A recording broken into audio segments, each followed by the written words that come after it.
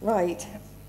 Well, so Watkin Williams Wynn married in um, April 1769 to Lady Henrietta Somerset, daughter of Charles Noel, Duke of Beaufort. And a portrait of the betrothed couple was painted by Sir Joshua Reynolds. Um, this picture is courtesy of the National Museum of Wales. Um, a picture of the couple in Italian costume with masks, very appropriate to Sir Watkin's interests.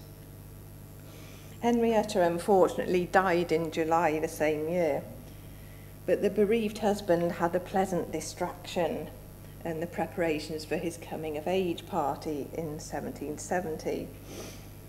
Um, building works first uh, commemorated the event.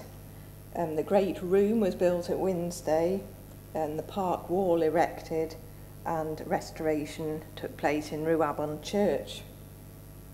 Well, so Watkin did know how to party.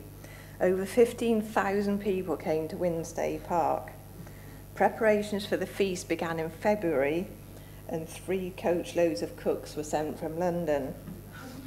Samuel Sidebottom's account book recorded eight gallons of orange juice to make shrub, wine, brandy, rum, etc., sent to Wynnstay, hams, Staines mustard, six table mats for the steward's room, and intriguingly, the old woman's dress Mr. Carter, the cook, sang ballads in at Wynnstay.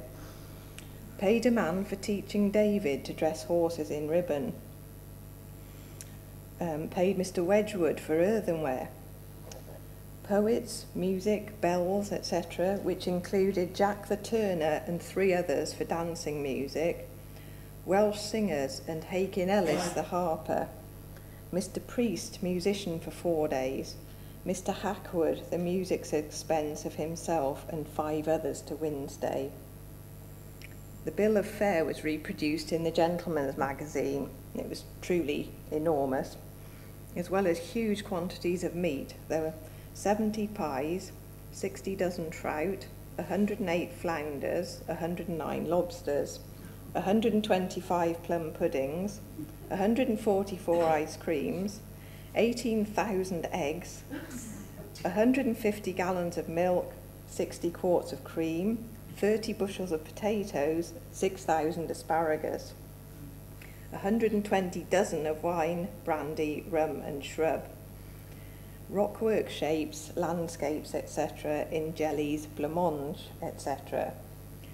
Fireworks were provided by Domenico Giordani, the total cost was over £1,600. Um, in the year before the coming of age, a portrait had been commissioned um, from Sir Joshua Reynolds, um, and because Henrietta wasn't there, um, he was he was painted with his mother. Um, this is in the National Portrait Gallery. So Watkin married again in um, December 1771. Uh, his second wife was Charlotte Grenville, daughter of the former Prime Minister George Grenville, and she was a niece of William Pitt. She was very suited to the role. She was elegant, motherly in temperament, um, sociable, but she still possessed the tough organisational skills required for managing multiple households. Her letters to Samuel Sidebottom show a sound grasp of estate and domestic administration. They had eight children, six of whom survived. There were three sons, Watkin, Charles and Henry, and three daughters, Henrietta, Frances and Charlotte. And there is Charlotte with three of the children, um, painted by Sir Joshua Reynolds. And that is in the National Museum of Wales. Well, like most of the gentry, Sir Watkin had a London house. His first one was in Grosvenor Square, and in 1772 he purchased 20 St James's Square for £18,500 from Lord Bathurst, and he spent a further 30000 on renovation. You need a fortification before the next bit.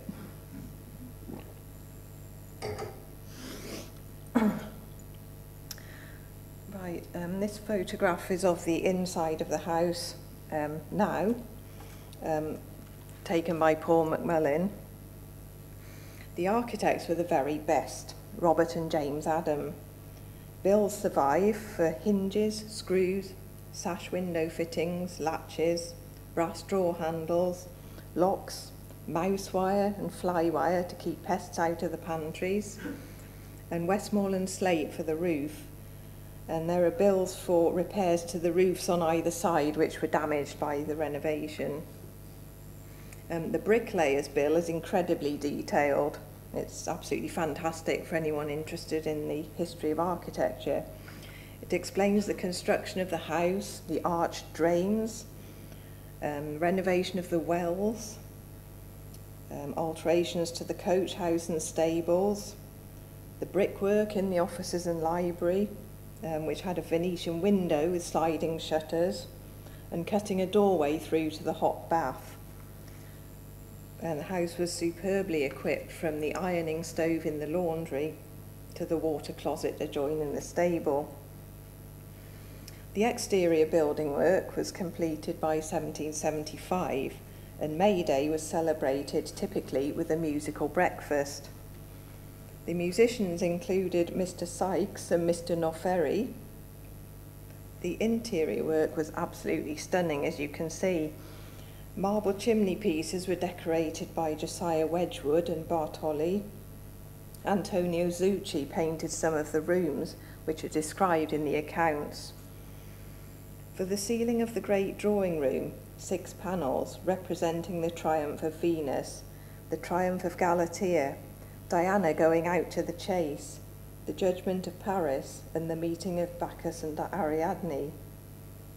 In the ceiling of the music room, there were further classical scenes from Virgil's Eclogues, and a picture in a panel over the door in the niche representing shepherds and nymphs doing honour to the ashes of Corelli or Handel. In 1775, Nathaniel Dance was paid for painting the Orpheus and two musical pieces over the side door, and Sir Joshua Reynolds for the St. Cecilia in the music room, which is thought to be modelled on Mrs. Sheridan. The music room was also equipped with chandeliers, music stands, and an organ by John Snetzler. The deal included keeping it in tune for the rest of the year and in future at a cost of four guineas. And there is a picture from the Adams um, designs of the music room ceiling in Sir Watkins London House. Um, the book has been edited by Robert Oresko.